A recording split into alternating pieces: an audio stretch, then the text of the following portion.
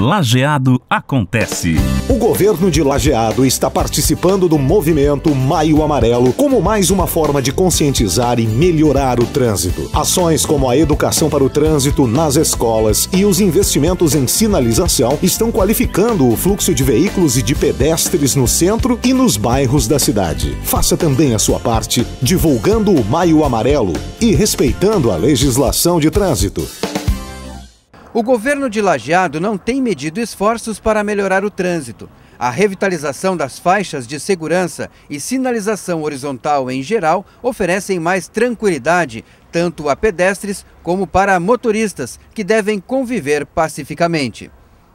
E o que também não falta é um trabalho de conscientização. Além do programa Educação para o Trânsito, o município aderiu ao Maio Amarelo. Mas quem pode nos falar mais sobre isso é o responsável pelo Maio Amarelo, o agente Paulo Andres. Paulo, qual a importância desse trabalho, principalmente do Maio Amarelo?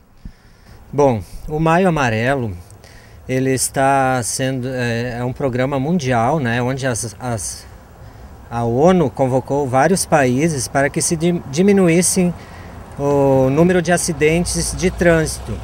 Então, no Brasil, todo mês de maio, desde 2011 agora, ele é desenvolvido esse programa, tá? Com uma, que os governos tomem ações para a diminuição desses, desses acidentes, né? E aqui na cidade também a gente tem várias atividades nesse mês envolvendo a fiscalização de trânsito, escolas, é, palestras, palestra no Senai, a gente tem uh, agente de trânsito dando uma atenção maior nas faixas de pedestre. É um trabalho bem prático, né, que mostra realmente a situação do trânsito, principalmente para as crianças. Isso, a gente tem que trabalhar a teoria e também demonstrar na prática como é que funciona, né? Através de vídeos, imagens e também levar eles para a rua para eles conhecer. Às vezes, quando estão com os pais, não percebem tanto quando se tiver um professor ou alguém que conhece a área e está mostrando realmente como é que é para eles. É a conscientização deles que está em jogo. É a conscientização. Desde pequeno eles têm que uh, entender o trânsito, tem que se manter vivo, tem que ter uh, uh, tem que se defender das coisas que podem acontecer, dos riscos que, que correm no, no, no trânsito, né?